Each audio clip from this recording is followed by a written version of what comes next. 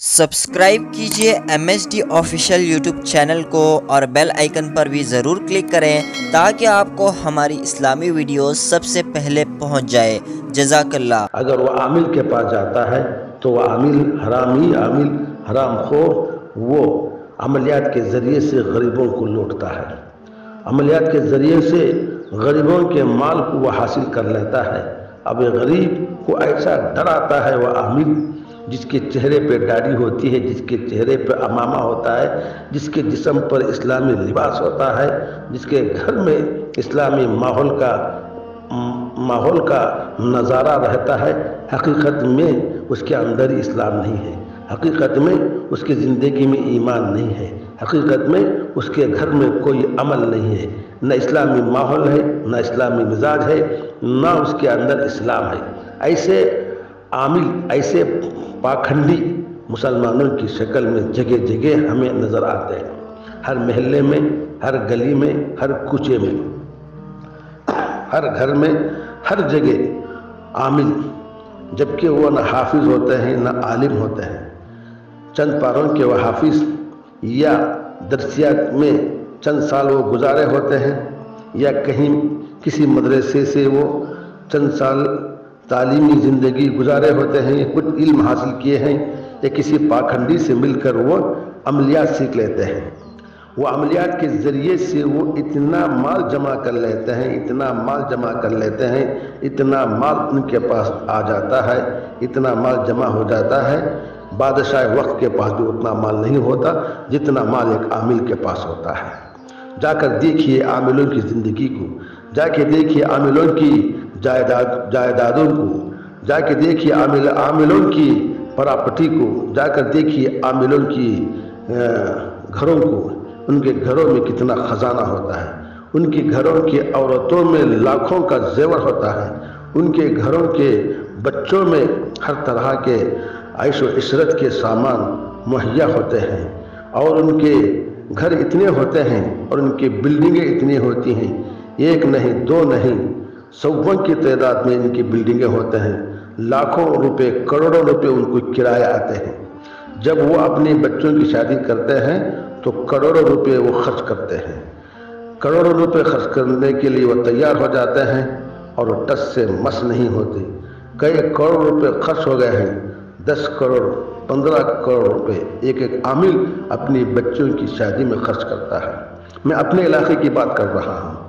मैं कहीं और की बात नहीं कर रहा हूँ। अपने इलाके में भी ऐसे आमिल हैं। वो अपने बच्चों की शादी में शादी महल बुक करते हैं। एक नहीं, दो नहीं, तीन नहीं, चार चार, पाँच पाँच शादी महल बुक करते हैं और लोगों को वो दावत देते हैं। तो जितने आने वाले हैं, सब मुसलमान हैं। जितने वाले, आने वाले हैं शादी में, सब दीनदार हैं। जबकि वो जानते हैं कि आमिल का कमाया हुआ माल हराम है। जबकि वह जानते हैं आमिल का कमाया हुआ माल नाजायज़ है, नजिस है, और वह गलीज माल है, और उसके अंदर खबासत है। लोगों की आय है, लोगों का दुख और दर्द उसके माल में है। लोग जानते हैं, फिर भी उसके दावत में शरीक हो जाते हैं। आ, दावत में शरीक होने के लिए सादत समझते हैं, नेकी समझते हैं। दावत में आकर उसके आमिल के दावत में और उसके वलीमा में उसकी शादी में आकर इतना खाते हैं, इतना खाते हैं, जबकि वह जानते हैं हराम है, जबकि वह जानते हैं कि नापाक माल है, जबकि वह जानते हैं कि नजीस है वह गलीज है, फिर भी उस माल को अपना लेते हैं, उस माल को खाते हैं और दावत खाने के बाद फ़ौर नमाज़ को नमाज़ को पहुँचते हैं और नमाज़ पढ़ते हैं। बताइए आपकी नमाज़ क्या कबूल हो जाएगी? क्या आपको मालूम नहीं है कि हर आमिर धोखेबाज है? हर आमिल हराम खोर है, हर आमिल गलीज है, हर आमिल नजीस है, हर आमिल नापाक है। चाहे वह कहीं का भी हो, चाहे वह किधर का भी हो, चाहे वह जिधर का भी हो, चाहे वह जहाँ भी हो, जिस जगह भी रहता हुआ आमिल कर्नाटक के सरजमीन में तुमकुर ज़िला में कहीं भी आमिल हो, उसके चेहरे पर लंबी लंबी दाढ़ी हो, उसके अमाम चेहरे सर पे बड़ा से बड़ा अमामा हो, चाहे वह हज को जाए, चाहे उमरे को जाए, चाहे वह जमात में जाए, चाहे वह इज्तमा में जाए चाहे उलमा की महफिल में जाए, चाहे उलमा का वो सदर हो जाए, वो जमीयत का जिम्मेदार हो जाए, रबते मदारिस का वो जिम्मेदार हो जाए कोई भी हो, हर आमिल अगर वो अमलियात कर रहा है तो हराम है वो, हराम खोर है वो वो हलाल खोर नहीं हो सकता है, वो नजिस माल खा रहा है, नापाक माल खा रहा है, गंदा माल खा रहा है, गलीज माल खा रहा है, खुद भी खा रहा है, अपने बच्चों को भी हराम, नापाक माल खिला रहा है, खुद भी खा रहा है, गलीज माल,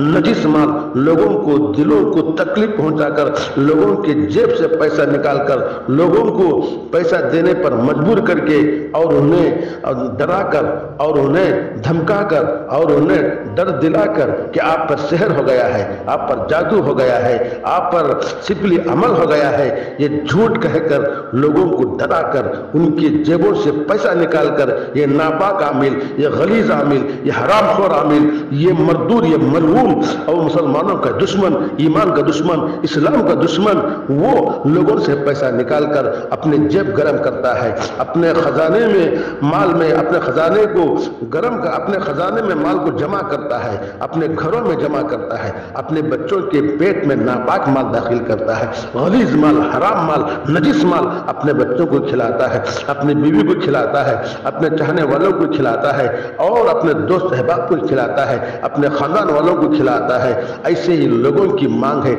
ऐसे ही लोगों की लोग पूजा करते हैं, ऐसे ही लोगों के लोग इर्द गिर्द घूमते हैं, ऐसे लोगों को वो तबरुक समझते हैं। ऐसे लोगों की महफिल में बैठने को वो सादत समझते हैं, ऐसे लोगों से मिलने को वो नेकी समझते हैं, ऐसे लोगों के करीब उनके नज़रों में, उनकी निगाह में और उनके महफिल में, उनके घरों में जाने के लिए वो सादत समझ कर पहुँचते हैं और उनकी सोबत को इख्तियार करते हैं, उनकी दोस्ती को इख्तियार करते हैं, उनकी रिफाकत को इख्तियार करते हैं, उनकी मजलिस को इख्तियार करते हैं, उनकी नशिश को इख्तियार करते हैं और उनके करीब बैठने को वो सादत समझ कर उनके पास इर्द गिर्द घूमते फिरते हैं। जबकि वह जानता है यह हरामी है, जबकि वह जानता है वह नापाक मरदूद है, जबकि वह जानता है वह नजिस खाने वाला है, वह सुअर का गोश्त खाने वाला है, जबकि जानता है हर आमिल, जितने भी आमिल कर्नाटक में हैं, सब नापाक हैं, सब गलील हैं, सब मरदूद हैं, सब मलून हैं, सब हरामी हैं, सब मलून सब कौम को दुश्मन कौम को धोखा देने वाले हैं, उम्मत को धोखा देने वाले हैं, मुसलमानों को धोखा देने वाले हैं। कुरान के अहकाम पर वो अमल करने वाले हरगिज नहीं हो सकते हैं।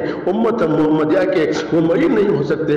उम्मत मोहम्मदिया के वो मददगार नहीं हो सकते। उम्मत मोहम्मदिया के वह नासिर नहीं हो सकते। उम्मत मोहम्मदिया के वह खैर खा नहीं हो सकते। उम्मत मोहम्मदिया के वो मसीहा नहीं हो सकते। उम्मत मोहम्मदिया के वो दुश्मन है। उम्मत मोहम्मदिया के माल को अपने घरों में नाजायज़ तरीके से जमा कर रहे हैं। उम्मत मोहम्मदिया के माल को नाजायज़ तरीके से वो हासिल कर रहे हैं। उम्मत को धोखा दे रहे हैं उम्मत को बर्बाद कर रहे हैं, इस्लाम को बर्बाद कर रहे हैं, कुरान के अहकाम को मलियामेट कर रहे हैं, उम्मत रसोल्ला के लाहे दीन को अपने पैरों तले रौंदते हैं। ऐसे लोगों को आप मानते हैं, ऐसे लोगों की पूजा करते हैं, ऐसे लोगों को अपने मस्जिद का सदर बनाते हैं, ऐसे लोगों को अपने अपने इदारे का सरपरस्त बनाते हैं, ऐसे लोगों को अपने तंजीमों का सरपरस्त बनाते हैं, ऐसे लोगों को आप अपने महफिल में ऊँचा मकाम अता करते हैं, ऐसे लोगों को अपने मजलिसों में ऊंचाई पर बिठाते हैं। ऐसे लोगों को अपनी महफिल में, अपने नशिश में एक बुलंद बाला मकाम अता करते हैं और उसके हा में हा मिलाते हैं। और उसके इर्द गिर्द घूमते हैं। कल क़ियामत के दिन अल्लाह आपसे भी सवाल करेगा कि ये नजीस, ये नापाक है मजदूर, ये मल्लून ये गलीस कौम का दुश्मन, इस्लाम का दुश्मन रसोल्ला के हकाम को मिलामेट करने वाला रसोल्ला के सुन्नतों को अपने पैर तले रोकने वाला, ऐसे ये, ऐसे आमिल के इर्द गिर्द आप क्यों घूम रहे थे? ऐसे नजिस आमिल के पीछे आप क्यों जा रहे थे? ऐसे नापाक आमिल के पीछे आप क्यों भाग रहे थे? इसके बारे में भी आपसे सवाल होगा।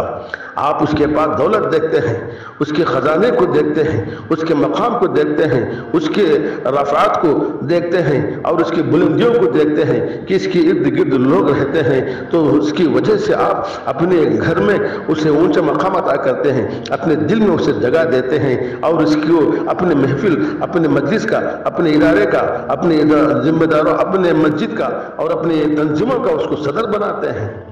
उसके आगे पीछे होते हैं और उसके घर में खाने के लिए सादत समझते हैं, नापाक खाने को, गलीज खाने को और नजिस खाने को, वो सूअर का गोश्त खा रहे हैं। ये आमिर लोग, उनके खाने को आप सादत समझ कर खाते हैं। आम सुअर का गोश्त खाने से बदतर है, या आमिलों को घरों में खाना खाना सुअर के खा, सुअर को खाने से भी बदतर है। सुअर के गोश्त खाने से भी बदतर है। इसलिए कि वह माल नजिस है, इसलिए कि वह माल नापाक है, इसलिए कि वह माल गलीज है, इसलिए कि वह माल के अंदर नहुसत है। लोगों की आय है, लोगों की बदुआ है, लोगों का दुख दर्द उसके साथ है कि इसलिए लोग ने इसने लोगों से माल हासिल किया है, नापाक तरीके से नाजाज तरीके से, हराम तरीके से, गलीज माल को हासिल करके अपने जेब को गर्म किया है। उस आमिल के पीछे हम भागते हैं, उस आमिल के पीछे हम दौड़ते हैं और उस आमिल को अपने दिल में जगा देते हैं। इसके बारे में आपसे सवाल होगा।